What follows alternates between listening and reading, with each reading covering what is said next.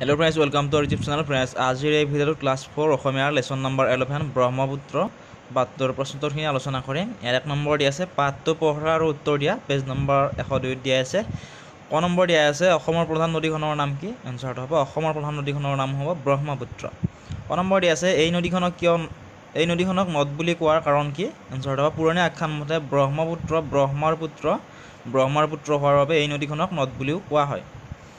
ক নম্বৰ আছে ব্ৰহ্মপুত্ৰ নদীখন ক'ৰ পৰা ওলাইছে? এনচাৰটো হ'ব ব্ৰহ্মপুত্ৰ হিমালয় পৰ্বতৰ মানস সৰোবৰৰ পৰা ওলাইছে। ক নম্বৰ দিয়া আছে অসমত ব্ৰহ্মপুত্ৰ নদীক আমি কি নামেৰে জানো? এনচাৰটো হ'ব অসমত ব্ৰহ্মপুত্ৰ নদীক আমি লুইত নামেৰে জানো।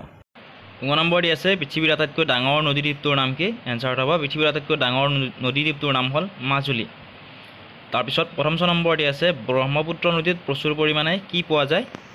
ইয়াৰ এনচাৰটো হ'ব ব্ৰহ্মপুত্ৰ নদীত প্ৰচুৰ পৰিমাণে মাছ কাছ শিহু আদি পোৱা যায়। তাৰপিছত দ্বিতীয় ছ নম্বৰ দিয়া আছে ব্ৰহ্মপুত্ৰৰ পানী কেতিয়া উফন্দি উঠে? এনচাৰটো হ'ব বাৰিষা কালত হোৱা ধাৰাসাৰ বৰষুণৰ ফলত ব্ৰহ্মপুত্ৰৰ পানী উফন্দি উঠে। দুই নম্বৰ দিয়া আছে উত্তৰ লিখা ক নম্বৰ দিয়া আছে কণ ব্ৰহ্মপুত্ৰ নদীৰ উপনৈবোৰৰ নাম লিখা। এনচাৰটো হ'ব ফণশিৰি কপিলি দিচাং দিখৌ দিহিং দিবং ভোগদৈ ধনশিৰি আদি। ভৰলী পাগলদিয়া মানাহ আদি। ক নম্বৰ দি আছে ব্ৰহ্মপুত্ৰ নদীৰ পাৰত গঢ়ি উঠা তিনিখন নগৰৰ নাম লিখা। এনচাৰটো হ'ব গুৱাহাটী ডিব্ৰুগড় আৰু তেজপুৰ।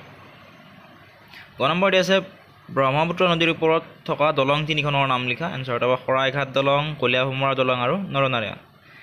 তাৰপিছত তিনি নম্বৰ দি আছে শব্দ সম্ভাৰ আৰু অভিধান চাই অৰ্থ লিখা। ধাৰাসাৰ হ'ব একেৰাখে পৰিবহণ হ'ব চলাচল কৰা। নদী মাতৃক হ'ব নৈৰ পানীৰ দ্বাৰা উৰ্বৰা বা সাৰুৱা হোৱা জীৱিকা হ'ব বৃত্তি উফন্দি মানে হ'ব ফুলি উঠা।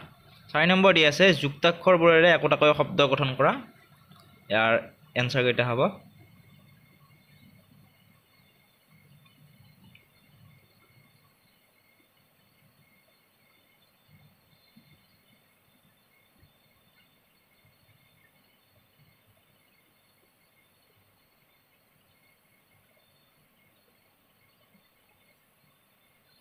তাৰপিছত পাঁচ নম্বৰ দি আছে পেজ নম্বৰ এশ চাৰিত যুক্তাক্ষৰ ভাঙি লিখা ইয়াৰ এনচাৰকেইটা হ'ব?